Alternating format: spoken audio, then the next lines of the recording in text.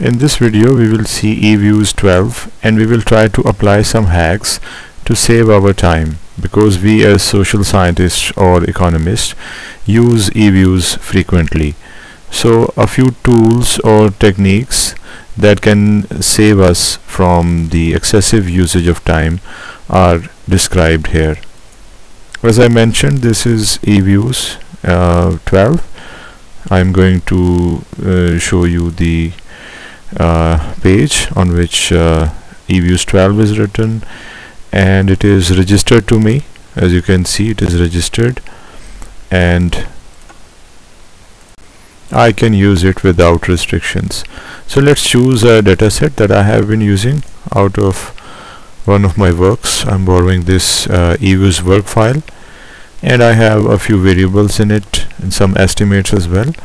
This is actually uh, pool data and now I'm going to estimate an equation. And for that usually we go into the menu that is quick and then we go in estimate equation. And uh, we click it then we see this dialog box and then we start uh, choosing those variables. For example in this case uh, if I choose ITA as the independent variable then write C as the constant or intercept then I'll write the other um, variable that is ICT which is the independent variable and then I uh, NIC and then REX and then TRD so after doing this I will choose a least squares here just for the sake of ease and then I will click OK so I will get these results. But there is another way which can enable us to uh, do this thing and it can save us from extra uh, menus. And here if I want to save this equation I have to do another step and that is to go in view or uh, primarily freeze it and then um, give it a certain name. For example uh, dbm for example so then I'll be able to save it. So you see a number of steps have been done. In order to avoid all these steps I can write just one command and I can get um, the results of it. So let's write that e demand uh, equation. Um, it's basically an equation. So this is the keyword. I just have to type equation and then I can give it the name that I want it to have uh, this is dbm1 because dbm is already saved so I have to give it a, a different name. Ls I will type in order to make it least square and then I can simply type all those uh, variables that are there in our analysis and that will be it. I just need to press enter to get the result.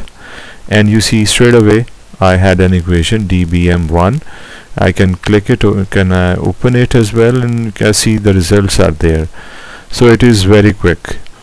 You see that all those steps have been jumped over and simply by writing this command one can straight away come to uh, an equation which is saved and we can further work on that so you see this is what we have done. We have estimated an equation. We have saved it as well. We have given it a name as well. And this uh, simple command has enabled us to do it. Now there is another thing we excessive uh, repeatedly do in uh, and that is to find out the presence of multicollinearity for which we estimate this test which is known as the variance inflation factor. The acronym would be VIF so uh, in order to calculate it using the menus I can use the same command and I just have to edit one thing. I just need to delete equation from it and I have to delete the least square and the list of variables. And instead I will write var inf which stands for variance inflation factor.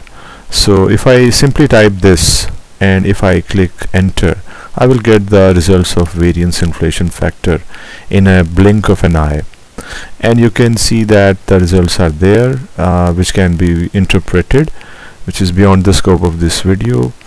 And this is how we can again save quite a bit of time and we can get the results of presence of multicollinearity using this simple command which is this command that we just used instead it was dbm1 because we had already saved one equation so we differentiated by using a slightly different name. And this is what we did. Simply by using one command we calculated variance inflation factor. Now using the same uh, equation command I can estimate ARDL effortlessly. Just like we calculated a least square estimate uh, in this panel data we can now estimate ARDL simply by replacing LS with ARDL which stands for autoregressive distributed lag model. And we don't have to go into the menu simply I will replace uh, LS uh, with ARDL and once I do this I click enter.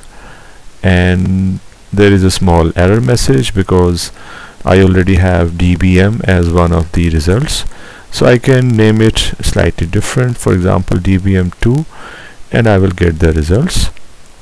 Here we are dbm2 they are saved. The equation which is showing the results of ARDL method these are the results. Long run and short run estimates. And finally we have found the ARDL as well simply with one enter and writing one command so using one command again we were able to calculate or estimate ARDL this was the command. Finally we have uh, the repeatedly estimated um, statistic of uh, unit root. And for that again we can easily calculate using one command. Uh, just to remind you it is panel data so it will be panel unit root. For that simple command is to be used so the command is to be typed in the command panel. ADF is the command which stands for augmented Dickey-Fuller test. It could be UR for unit root because ADF is one of the ways of calculating or estimating the unit root.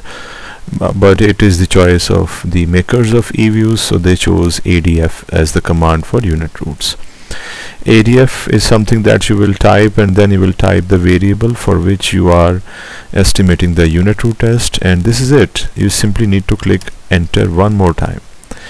And you will get the panel unit root uh, test in this case because now we are talking about panel data.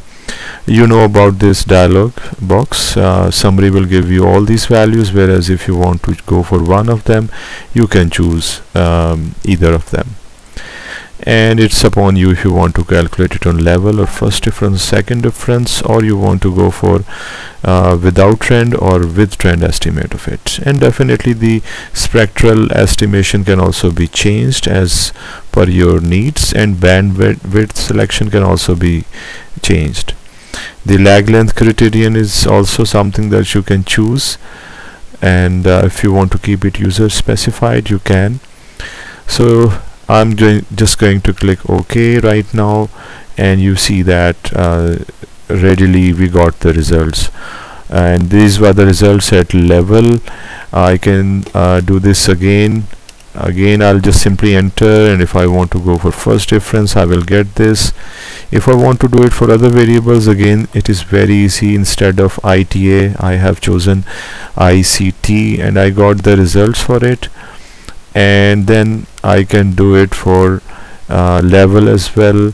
So you see that how uh, easily or effortlessly we are able to estimate the unit root tests.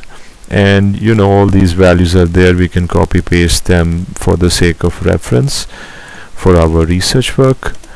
So again a very simple tool has been used. That is the command of uh, unit root to get the results effortlessly so this is the summary of all the commands that we used. And using simple one command we were able to avoid many menus and uh, hopefully we have saved our precious time as well. In our upcoming videos we will have some hacks for Stata as well that will allow us to save time. And few estimation techniques that will also help us in our research work in economics and social sciences. Thank you